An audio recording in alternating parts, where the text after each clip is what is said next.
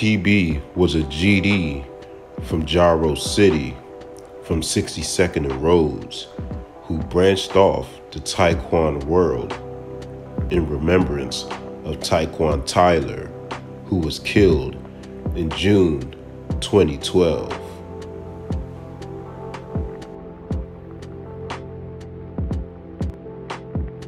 He was also V Block for Venzel, who was killed by 600 February 12, 2014. They were very good friends.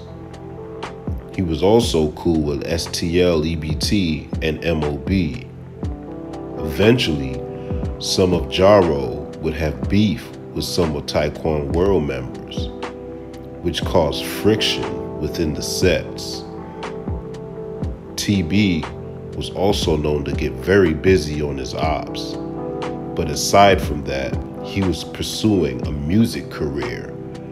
Also, he was looking into acting.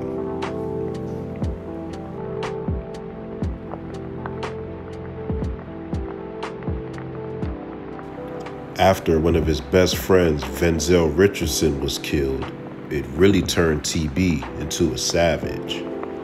The war between 600 O Block and Tyquan World Jaro STL EBT has claimed over 30 lives. On February 14, 2017, TB was involved with a hit that would seal his fate. O Block T Roy was in a South Shore neighborhood convenience store just before noon when Tyquan World two times and STL Get Right approached him. As they were wolfing at each other, TB walked in and fatally shot T Roy in the chest. T Roy was pronounced dead at the hospital.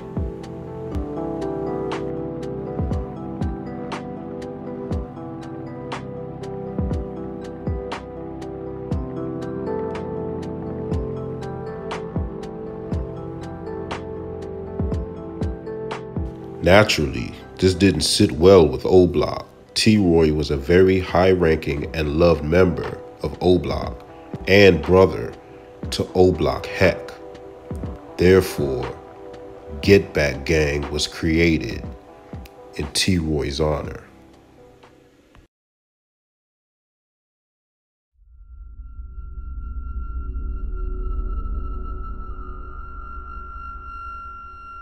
Six months after T. Roy's passing, at around 12:39 p.m., TB and some associates were vibing on a porch on the 7000 block of South Chapel Ave when a car pulled up, allegedly containing O Block Muwab, Heck, 600 McAdoo, and Lil D. Allegedly, Heck hopped out the car and began firing, striking two people in the head.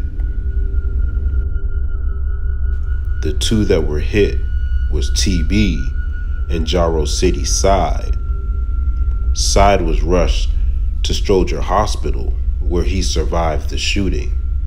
Unfortunately, TB, real name Terry Barry, passed away at Northwestern at the age of 21.